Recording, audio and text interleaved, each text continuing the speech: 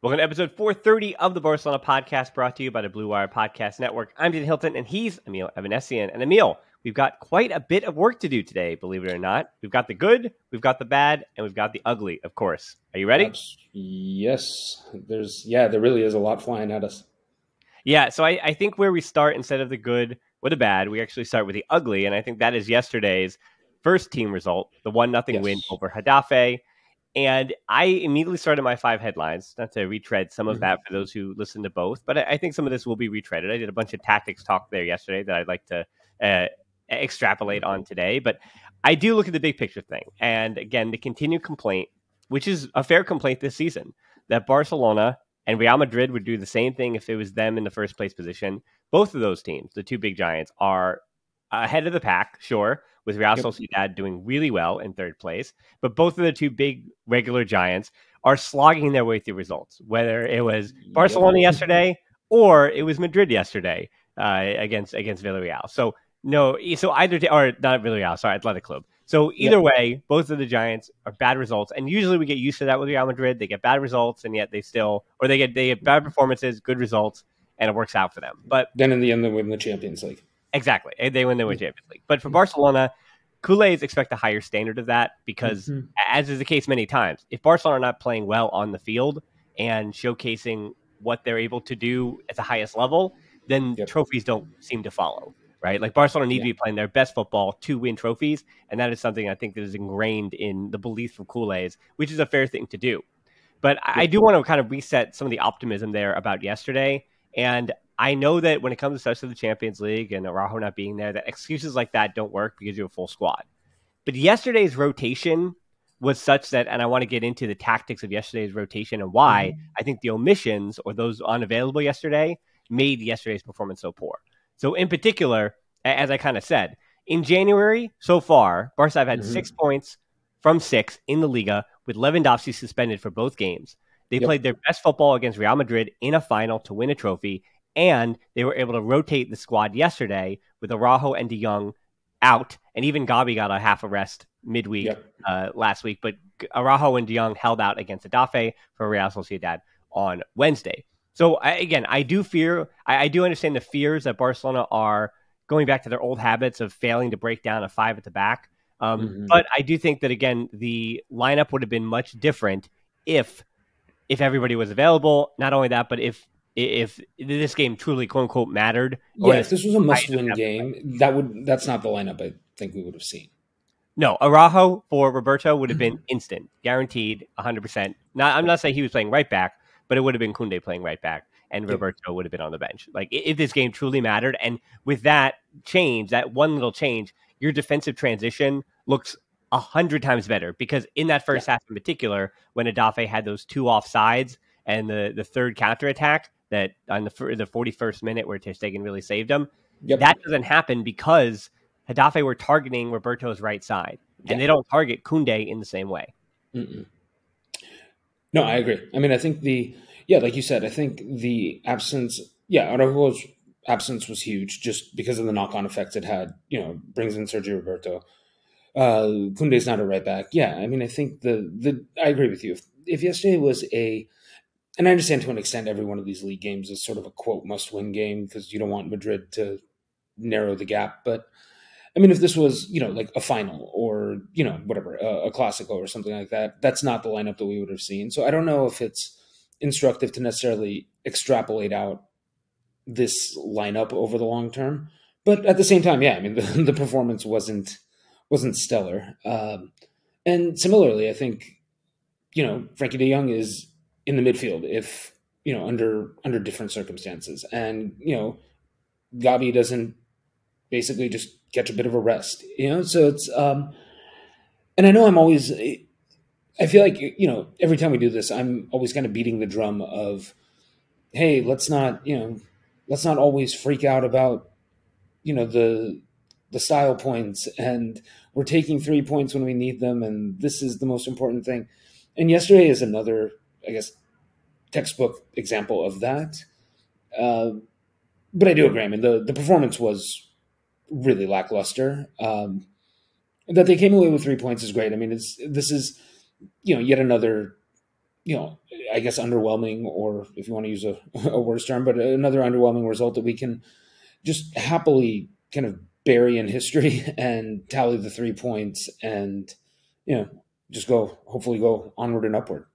Yeah. I mean, I feel like the concern comes from the fact that for those who listen to the podcast every week, you hear me kind of rinse and repeat this in the Liga, where Barcelona play poorly. I try to convince everybody mm-hmm. that it's all right. You have to get those kind of results to win the Liga, but yeah. Barcelona seemingly keep doing it over and over again. And I think that whole thing uh, about repeating the same process is what I think has people worried and concerned, which is fair. Yeah. But again, I look individually at this match, and let's do our little, you know, tactics talk. I don't have a. I need to get some kind of music bed little tactics talk thing that you know. I don't know what I don't know how to say it, like tactics talk, and then like a shoo, shoo, X's yep. and O's, whatever. but not that you could see that. I mean, you could, yeah, you'd hear it, but you wouldn't see it. But anyway, yep. so I think tactically yesterday, again, the lineup itself dictated the way that Barcelona played against Getafe, and I can't mm-hmm. look beyond the 90 minutes that I watched yesterday. Like, for example, right, Ansu Fati, at this point, with his confidence and the way things are working, he can't really be the number nine, regardless of whether we can have that debate about him as a nine or him on the wing. He was even moved out to the wing a little bit later. But due to the personnel that were available, the starting lineup you kind of had to go with. You had to go with Dembele and Raphinha and Ansu because the other option was again uh, Angel Alarcón, who, uh, while I do like that that young player, I don't think this was kind of the moment for him. The way that game was going, and you know we'll, we'll do that a little bit later. But as far as what Ansu meant tactically, is that even Getafe are wise enough to know that Ansu is the nine in this situation. They only have to track him with one. They don't actually have to track him with that second center back over the top, right? So Lewandowski, uh, and a big part of playing against Getafe in a five at the back is getting those runs in behind in those half spaces. And they were not as available as we saw, especially against Real Madrid. But even against that, in that one nothing against Atletico Madrid, like these weren't there, as well as in the uh, Spanish Super Cup semifinal against Real Betis. These runs in behind weren't there, and the lack of Frenkie De Jong is a huge part of that, as well as not having Lewandowski available because again Lewandowski brings that second that second center back to help, which does leave some of that half space room for in that in particular it was Gabi on that left side yesterday to run into. And I think the other huge problem with that and not getting those half space runs is because by having Dembele on the left, which you have to do because you have to have Raphinha on the right. Like there's no mm-hmm. option to have Raphinha on the left. We saw it for a little bit. And that basically means that change happens because Xavi wants to get something out of Dembele because he felt like he was getting nothing out of either winger. So to get something out of one of them, you move Dembele back to the right. But why Dembele doesn't get much on the left is because when you pair Balde and Dembele, and actually why I believe that that Alba came on for Balde at halftime too, because Balde is so is so comfortable at this point playing wide, getting forward, and dribbling. Right? He's he's so dribbly as is Dembele. So they wind up being a bit dribbly and redundant, and I guess the word would be predictable on that left side, right? And they're by both of them wanting to dribble out to the wing, and then Dembele trying to come inward, but he's kind of coming inward in a really you see the speed he does in a horizontal way, and he doesn't do it with any pausa at all. It is just 120 miles per hour that Dembele is pushing into the center of the defense, meaning there's no half space again available and there's no timed run from Gabi or even and even Balde. I mean, we saw Balde's limitations yesterday in terms of getting inside and getting that like long shot off that you'd want your outside back. We see it from Alba um, sometimes, but you want to get that outside back in uh, inverting inward. But because Balde is also so reliant on his left foot still at this part of his career, he doesn't really have that that right foot that he can trouble in any way, even with a pass. Right, it has to be a cross with his left foot. That so far his numbers are pretty pretty fine. But again, the fact that you have Raphinha, who, believe it or not, the only time he got switched over to left, he delivered a great assist for the goal, and that's how the goal was scored. But other than that assist, Raphinha was pretty lost in this game as well. It just wasn't suiting him. And where De Jong also changes that, I think, is because once you have Pedri kind of playing in that free role, and then you would put Gabi on the right, and you put De, De Jong on the left, De Jong, because he, it sounds redundant, I mean, not redundant, but it sounds counterproductive or counterintuitive here. But because De Jong also has the ability to dribble into space as well. Having De Jong, Balde, and Dembele, both uh, all three kind of dribbling or whatever, but De Jong also has this chaotic, the chaotic element where he can also ju- run into the half space. So it's either or, and I think those option out the optionality of De Jong's positional. I, I said yesterday on the five headlines it was his a positional hurricane that, that is De Jong that it seems like it doesn't work at times, but against a, a team like Getafe, who are playing in those very rigid five, four, one, he does have this ability to get both, or not both, but he, Pedri, and Gabi, all of them can operate in between the lines. And that extra third player to operate in between the lines is really helpful to those spaces. And that's what you have to do against Getafe, against teams that are in that low block. You've got to find the available spaces. And I think Barcelona wound up being too predictable and too redundant. But again, I, I throw De Jong into that mix. I, I add Evan Lewandowski to take one of those center backs away up top. And I think there's a lot more space available. Yes, uh, I'm. Uh, I, I was following along, and yes, uh, I am very much inclined to agree. And I do. Th- too yeah. long didn't read. Barcelona didn't have the right personnel. They didn't have. Right. there we go. Too long didn't read. Well, I think the. I mean, with Getafe, you know the. What was that? I mean, I think now it's maybe three or four years ago or something when they finished in the European places in La Liga. I think they finished what was it sixth or 7th mm-hmm. But you know, I mean, they're if nothing else, even in their, I guess less than less than prime seasons during this last handful of years, Getafe is a they're a tough out. I mean, they're a they're a disciplined team, and they, you know, they grind out wins and they grind down opposing defenses when it's when it's working for them. I, I mean, what I what I say is like look at the highlights though from the la- like to your point, look at the highlights from the last six years. The only yeah. player that you can see in Getafe highlights, honestly, is Messi for the last like six years. Like Messi beat Getafe yeah. every yeah. year for the last like, I mean, not maybe more than that, seven, eight, nine years, whatever.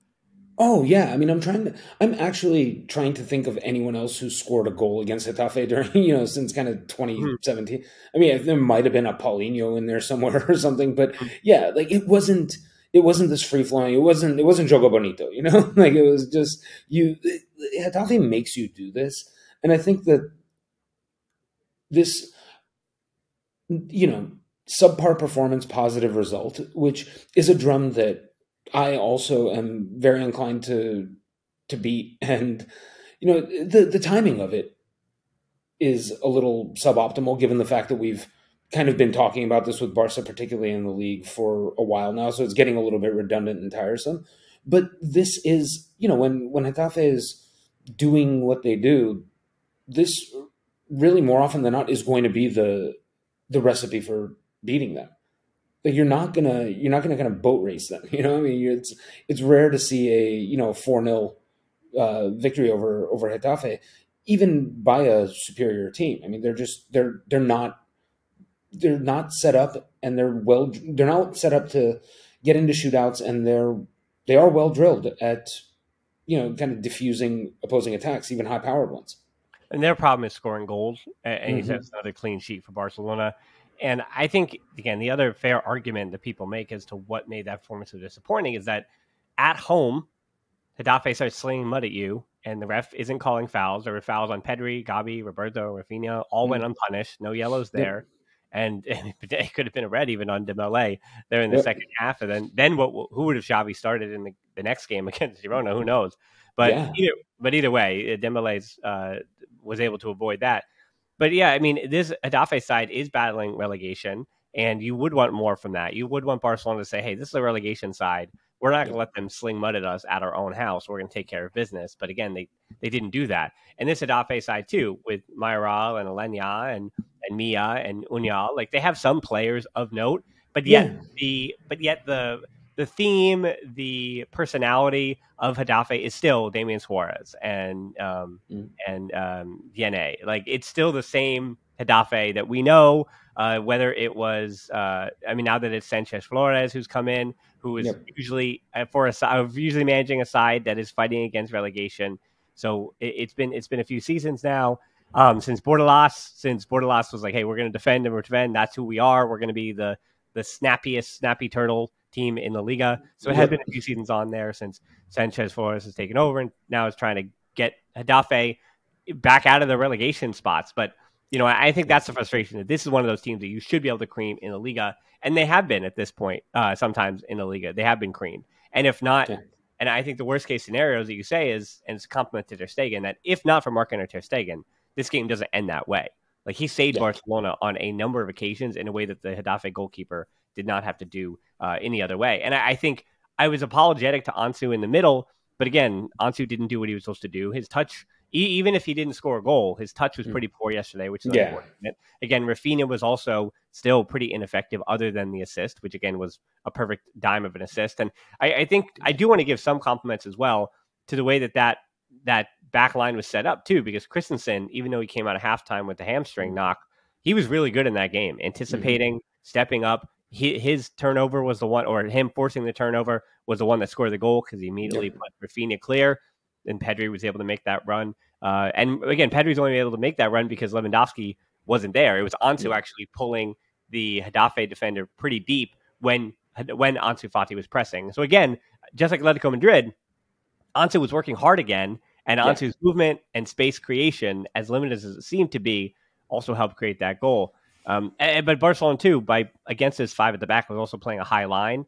Again, that didn't work unless Christensen and Koundé got it right, and they did get it right, and yeah. Ter Stegen did get it right, and so Barcelona did get another clean sheet. And that's another thing where this, the, the numbers tell you well, that's not what I watched. But what you did watch is that Getafe didn't score. Like they could have, but they didn't because yeah. Ter Stegen is in elite form, in the prime form of his career, and even though Araujo was rested, you still have you still have Koundé and you still have Christensen and that they were good enough. And so now Barcelona has still only conceded three non El Clasico goals in the Liga, six total in the whole league.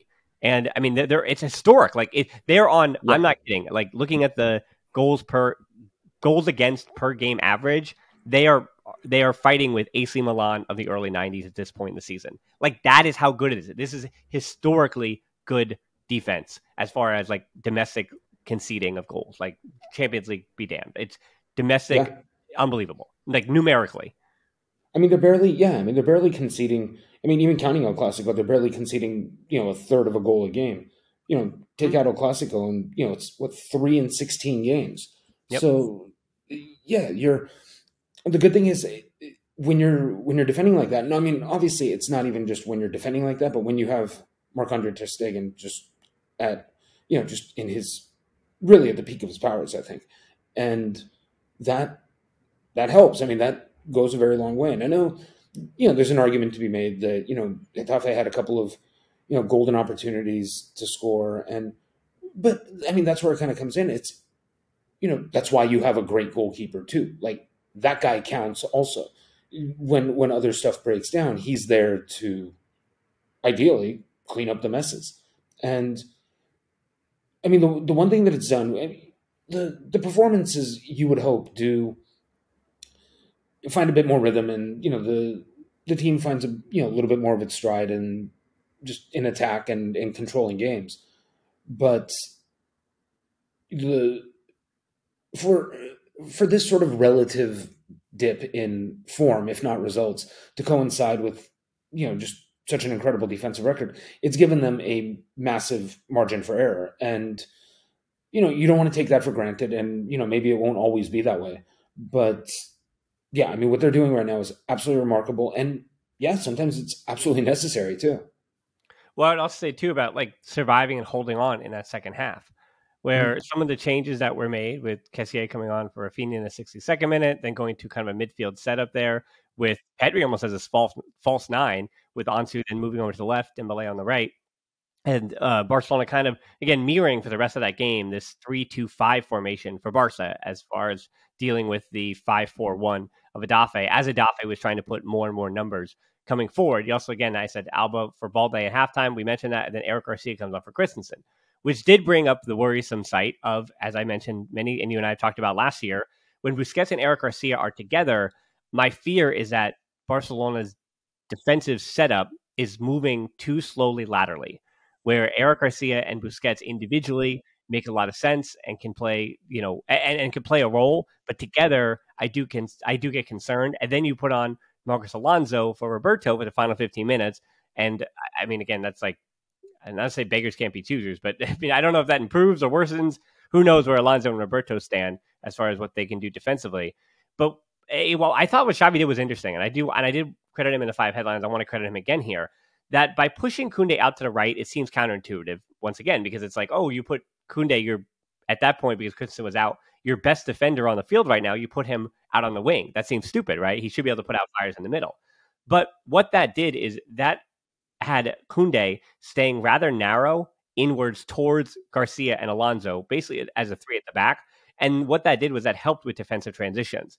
And when you do that, it puts a lot of responsibility on Pedri and Busquets to retain the ball, of which Pedri kind of struggled with. But in the same regard, in the 81st minute, I even marked it down that Pedri winds up getting out of a double team on the sideline. And if Getafe turned Barca over in that moment, they're in a lot of trouble. And Busquets had the same thing, I think, in somewhere in the 70th minute as Getafe were kind of taking control of the game. They really had their best stretch for like 12 or 13 minutes from like the 70th to like the 83rd or whatever it was. But Busquets was kind of just steady throughout, right? And eh, I think we can wax poetic a little bit now about Busquets, who was in the beginning of the game, not beginning of the game, but before the game, was honored with that 700 jersey. And I think it's like, it's almost unfathomable to consider. I mean, we could do it. We did it for Messi and we did it for Xavi, but third all time 700 is a lot of games, like a lot, a lot, a lot of games. And you could see yesterday against Getafe, he was a man of the match, and I think that was a little bit symbolic. But you could see what Busquets continues to offer uh, FC Barcelona as they're this season looking to win the Liga title by suffering. Like that is the way that they're going to win the title, and that's by suffering. And it seems like we had all decided that Busquets, you know, he can't really help Barcelona suffer anymore. He's too slow laterally. But yet, you look at yesterday, it's Alonso, it's Garcia, it's Busquets, and still it ends one nothing because Barcelona have found ways to suffer in ways that I think Emile they have not been able to do for the last five seasons. Well, I think that's yeah, that's sort of the big thing as well is that my another kind of counter to the uh, complaints that might arise about the quality of performance, you know, if not the result, is that you know I I absolutely understand the people who want to see, you know, a, a more beautiful performance and a more, uh, you know, more flowing and a more controlled performance. But yeah, I mean, we're this is still a, a club and a team trying to fight its way out of, I mean, by by Barcelona standards, fight its way out of the wilderness. Mm-hmm. And you know, as you exactly as you just said, these were performances that went the wrong way in recent seasons. Well, I'm uh, going to correct myself to say th- three years because I mean Ernesto Valverde won the Ligas back to back by suffering. So I, I want to, yeah, let me yeah. correct myself and put some respect on Valverde's name uh, yeah. there. I, am going to say three seasons. Look, I'm, and yeah, I mean, I know you know probably won't earn me a, a lot of friends in in land, but I absolutely, I to this day, I'm like, you know, there there was some suffering under Valverde, but you know, there, and I understand it was you know Messi and Neymar and everyone doing their stuff, but like I feel like Ernesto Valverde has uh, just been been redeemed in absentia because you know as soon as he left, it was you know you didn't like the suffering for league titles, so now let's go ahead and suffer for you know not league titles mm-hmm. because it was yeah and but I mean yeah particularly the last couple of seasons though it was this is a game that ends one all I feel like last season or the season yeah. before and so now we're not only upset about the quality of performance, we're lamenting two points lost, and you know Madrid's back on our heels, and you know the the sky begins to fall again. Whereas now, at least you you can at least lean on the results. You know, I mean, it's um, it's it's unnatural for Barca fans to to slave to the result, but this is what we have right now, and you know we need to bring this thing home, and so that's this is this is fine for what it is right now. Yeah, I mean, even yesterday, I, I think while Pedri, uh, it wasn't his cleanest game. You know, as as as Pedri goes, as I would love to say Busquets, but really, as Pedri goes, Barcelona goes. And again, yesterday, Pedri scoring in consecutive games now for the first time in his career.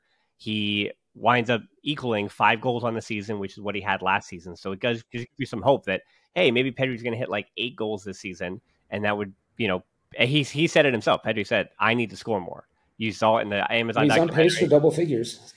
Well, almost, yeah. I mean, well, I, yeah, I guess so. Yeah, if, if he's five yeah, only seven. Yeah, we're only seventeen in. Yes, seventeen in. Yeah. So yeah. yeah, he's on pace for double figures. He has four in the league. He had one in the Spanish Super Cup, and it does give a little bit of hope that he's kind of figuring that part of his game out. And it's something that again, they seems to be the only thing that Xavi said you got to work on this. You got to improve on this.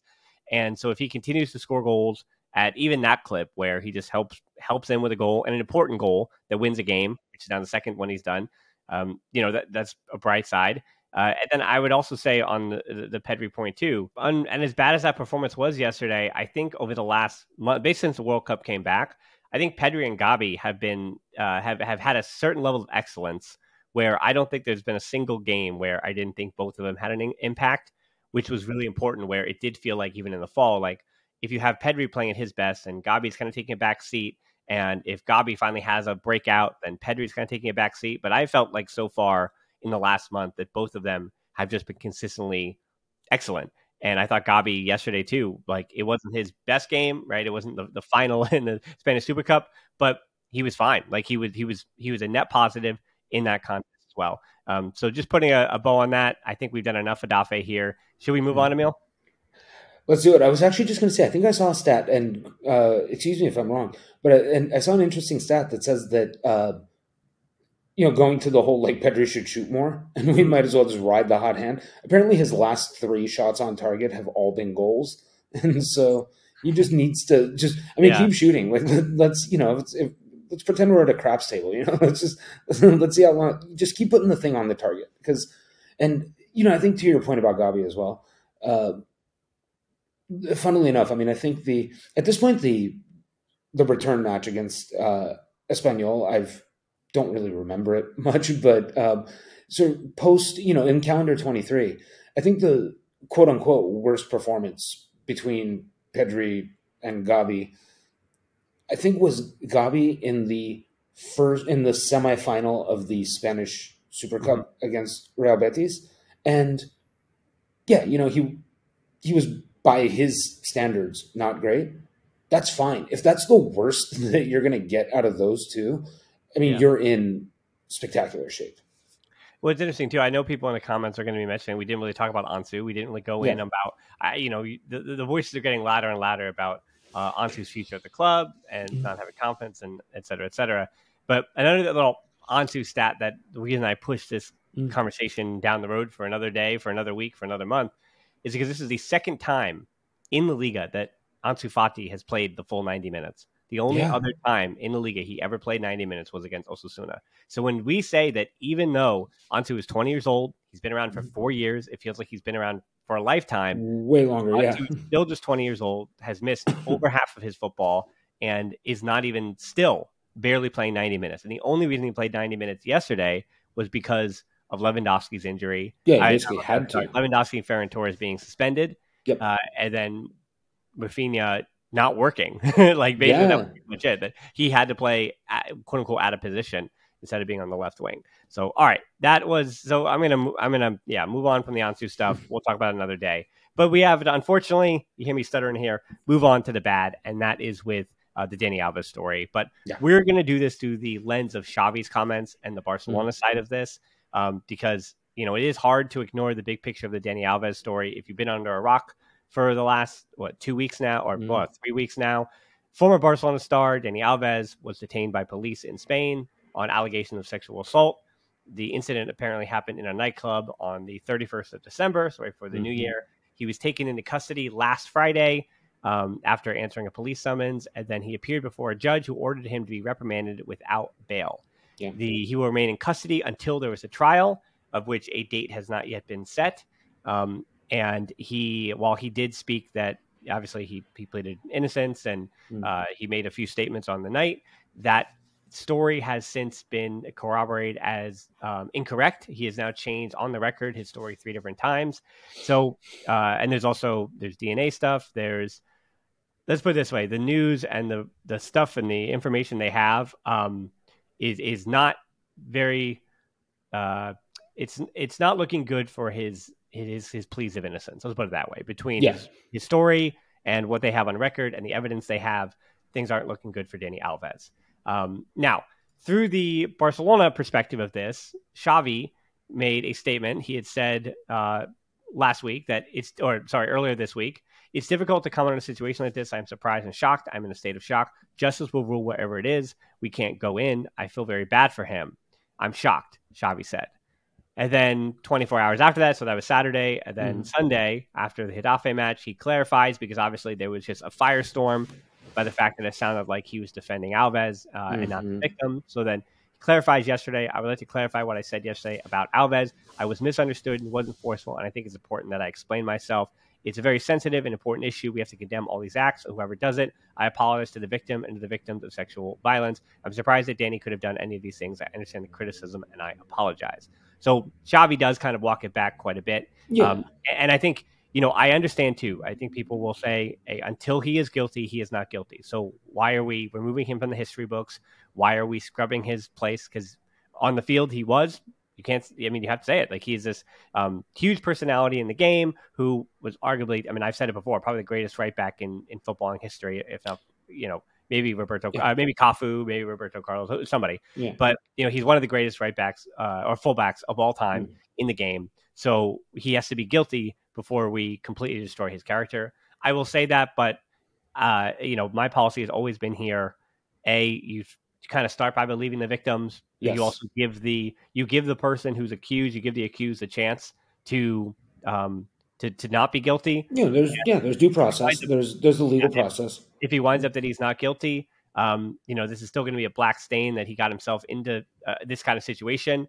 But again, the evidence here is pretty overwhelming. Just again, if you read the case and you if you want to understand um, that a lot of this evidence is stacked against him, that makes this a lot easier to say. I, I think it's it's it's time to already begin um, reviewing Dani Alves' legacy and how you speak about him and his reputation. Um, yes. So I, I don't know. So, I, I, think this is this is a pretty set in stone one. It's not one that's like up for debate at this yeah. point. But again, we have to wait for him to be guilty before we really like cast and throw his name out. But in the meantime, just like Xavi, we're going to believe the victim until this goes to trial. Oh, uh, that, that's the thing, absolutely. And and the thing is, there doesn't seem to be a lot of ambiguity in the kind of the the evidence and uh, not even ambiguity. I guess there, there's there doesn't seem to be a lot of contradiction between the victim's account of of what happened and whatever evidence has come to light at this point. Mm-hmm. So, I mean, if you know, the the the possibility, I suppose, exists that you know whatever Dani Alves didn't do this, but it certainly doesn't appear to be the case now. And yeah, I mean, for me, it's. um I mean, in September in the blizzard, I actually, you know, ahead of the World Cup, I actually wrote a 5,000 word. I mean, essentially, in a, in a sense, it was a weird, like, kind of fanficky, almost like ode to Dani Alves. And just, you know, he basically was my favorite non Messi player, you know, non Messi, non Ronaldinho, I guess, player. And just everything about him just screamed kind of, you know, great teammate, great guy, like just, you know, infuses everything with just kind of this like joy and whatever. And every bit of that now is just you know the yeah the the matches happen yeah he probably is the greatest right back to to ever play you know what i mean but it's just it's so difficult to to look back on a lot of that with you know the the joy that you felt when it happened and yeah and i mean to, as far as like Xavi's comments go i mean I, look i understand too he's in the moment, like I understand that he's probably just shocked, and you know, I mean, this is a guy that you shared a locker room with, and were presumably very close with, and had you know these great triumphs with. Um, you know, I mean, it doesn't. I I appreciate Xavi's you know um, walking back of his comments and you know clarifying and you know just correcting his position, he kind of taking the the proper stance. Um, yeah, I mean the the whole thing. I mean, obviously, just the for the victim more than anyone else. I mean, just you know, whatever. There's the the whole thing absolutely sucks. You know, I mean, just from from every from every which way.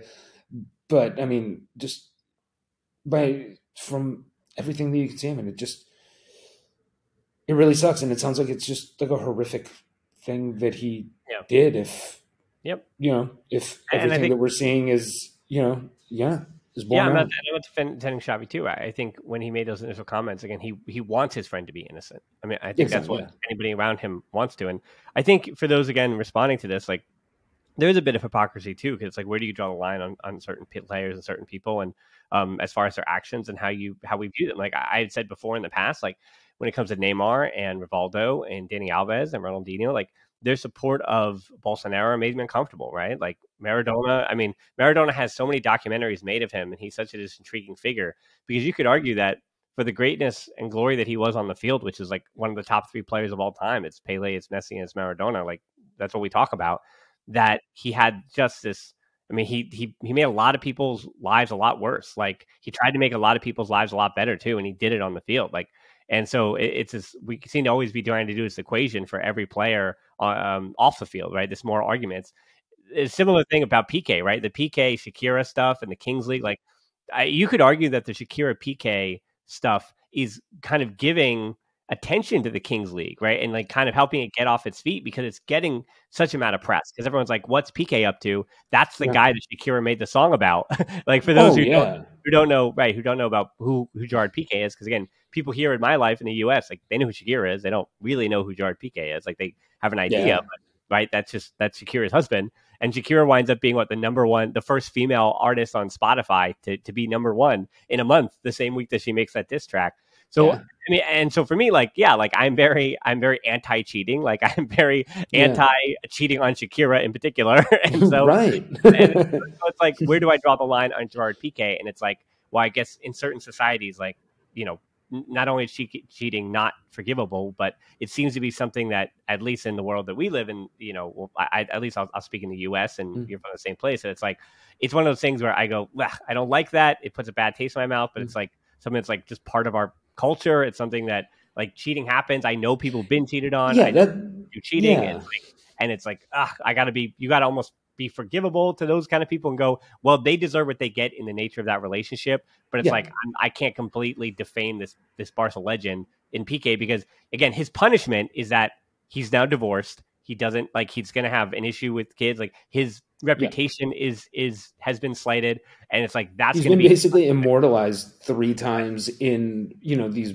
you know massive chart topping songs yeah. by his ex well, just like he's getting rinsed so yeah, I, mean, I guess exactly. you know but he's he's getting speed bagged so i guess there's that but, and, then going back to well, the, I mean, the, the, well then going back to the bolsonaro supporter it's like i can't flame or i can't destroy the reputation of a footballer for their political leanings even if i disagree with it but again the minute they're in front of a judge the minute mm-hmm. that there's jail time the minute those mm-hmm.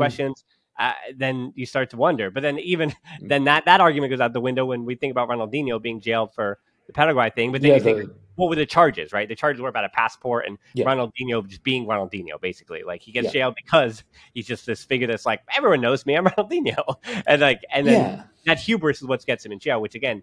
Even though now we're talking about the law, that's different than what Dani Alves is in. So it's like I just want to let people know, like well, it is. Different. I know it's complicated and hypocritical, but it's it's all different.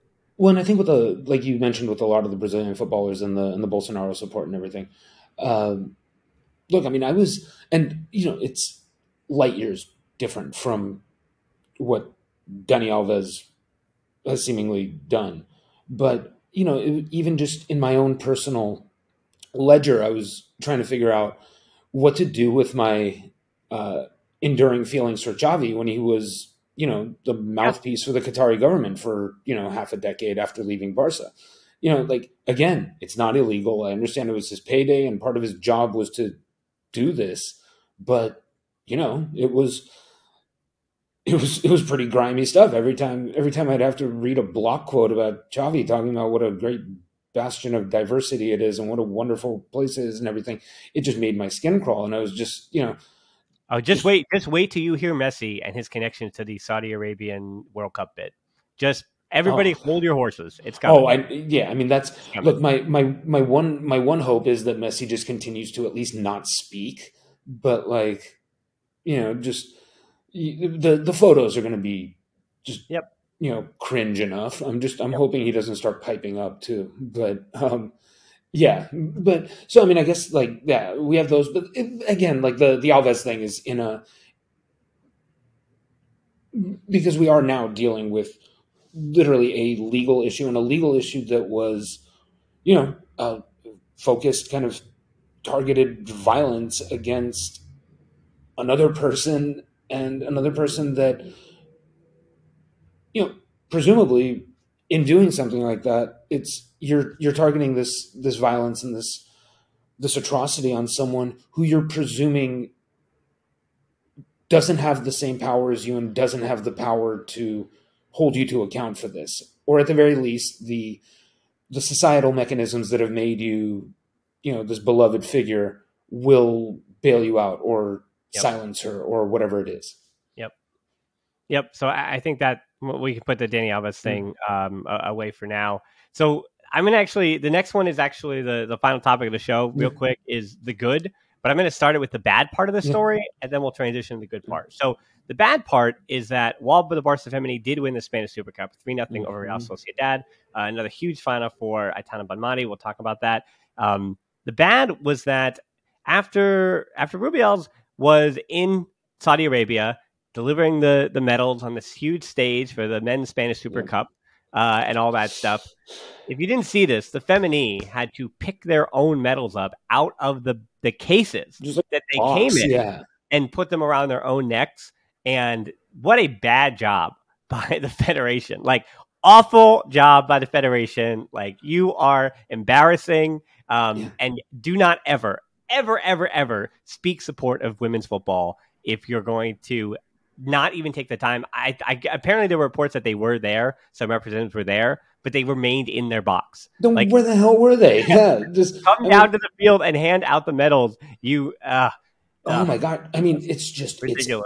It's, it's unfathomable. I mean, it just because it's one thing to not be there. It's one thing to just say, "Oh, I was busy because I was doing." Whatever, because again, a million people, especially even yeah. those who listen to the show, are going to come to their aid and say, "Hey, would they rather go to? I mean, is it more important to go to a first team, um, you know, first division match you know, whether it's Atletico Athletic Club against Real uh, Real Madrid, like okay, the representatives were there because they have to be at a first team match or whatever, instead of being the Spanish Super Cup. Fine. Well, that was even the day before, by the way. But like whatever, whatever. But to be there and not be a part of it and not like create an event out of it as if you made the trip there, that just like breaks my brain logically. To not at least to be there and not at least just go stand by that table, like the sad little table with the box on it, and at yeah. least like find some middle manager or something who you know just would it would make their month to be on camera or just you know yeah. get a moment's shine send send that person down there have them stand by the sad table with the box and at least hand out the medals i mean just the whole thing was just so gross you know? Yeah. Get a better table. I mean get a like oh my god yeah it was it wasn't even a good picnic table yeah. I mean it was yeah. just the whole thing was sad. Well fortunately though again the barca femení they win a trophy that had not say kind of eluded them, but they've now won the Super Cup in three of the last four years since it was created in 2020 for the for the women's side. With Atletico Madrid, the only team that stopped them, they they lost in penalties in the semifinal in 2021. Then they wound up winning it uh, last year in 2022. I think that's a correction from uh, five headlines I had. But that also brings their unbeaten run in domestic competitions to 58 games, which yeah. is a pretty incredible number. Um, and they did, did all of this, by the way, as much as I was apologetic for the the men's first team against Getafe and all the omissions, mm-hmm. well, they did this without Alexia Putellas and Caroline Graham Hansen, arguably yeah. their two most talented players. But as she is doing, and I, I, think I really like this beginning to be her reputation here, that Bonmati keeps stepping up in these finals and keeps stepping up in these moments when they need her to. She is actually injury wise, and as yeah. as far as like her ceiling, Bonmati hasn't had the best season, right? I don't think yeah. she is pushed herself into a Ballon d'Or conversation. Honestly, like yeah. the the year they won the treble, it was a much better season for her. But this final, she opens up the scoring in the 13th minute, then adds a second in the 47th right after halftime. Because credit to Real Sociedad, they took it to halftime mm-hmm. at just one nothing. But between Bonmati and um, and Geyse, it was it was just too much for them. And then third goal happens. Uh, and then with uh, Oshoala in like was it 96 minute or something? something yeah, gets, mm-hmm. gets the final goal. Um, so Barcelona capping off again another trophy for them, which just like the men, where that trophy kind of gets you in the trophy mood, where you yeah, go, okay, yeah, that was get the one. ball rolling, yeah, yeah, that was the one that like matters the least. But let's see about the other ones. Well, and I think uh, there, there's an interesting thing. I think with um, with Barca Femení, I mean, you know, the we always talk about their their roster is just so hilariously stacked, and you know, there's not really any weak links or anything. But there are actually the, and I think we talked about all of them at various times. There are the four players I think who, both from a just from a raw talent and just like an innate kind of sense of how to dominate and be great sense.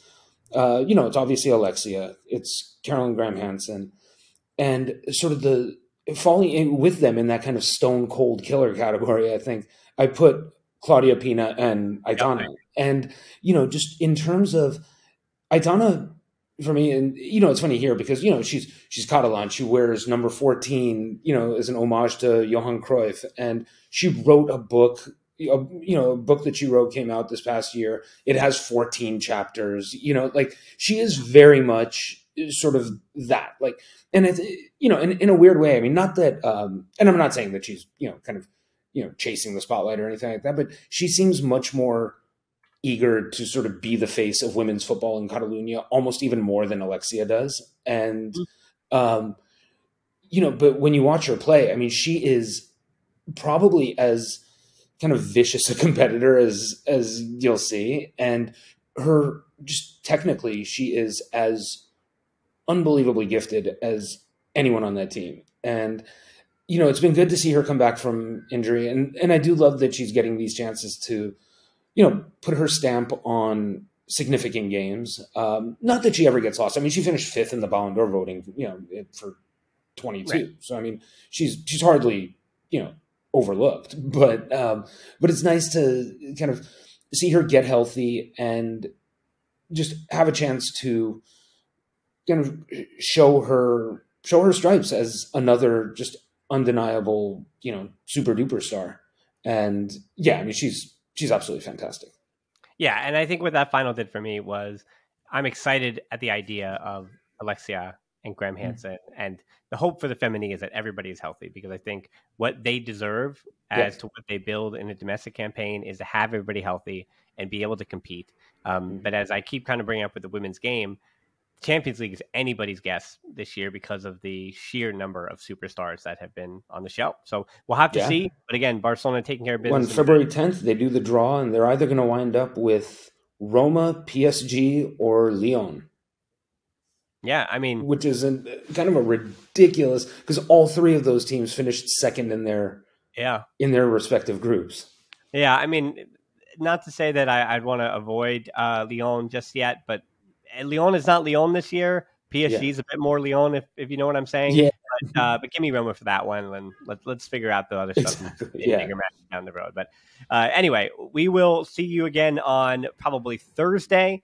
Uh, because we've got the uh, Real Sociedad, Barcelona, mm. uh, Copa del Rey midweek. But yeah, in the meantime, give me a follow on Twitter. Follow us on Twitter and Instagram at the Barcelona Pod, at the Barcelona Podcast on TikTok which is popping off right now, and then close Facebook group and the Discord, uh, two different places where our community is growing, and then Patreon, and obviously YouTube, a lot of content over there. Most importantly, though, thanks so much for listening to the Barcelona podcast. Until next time, we'll talk to you soon, and Forza Barca. Forza Barca.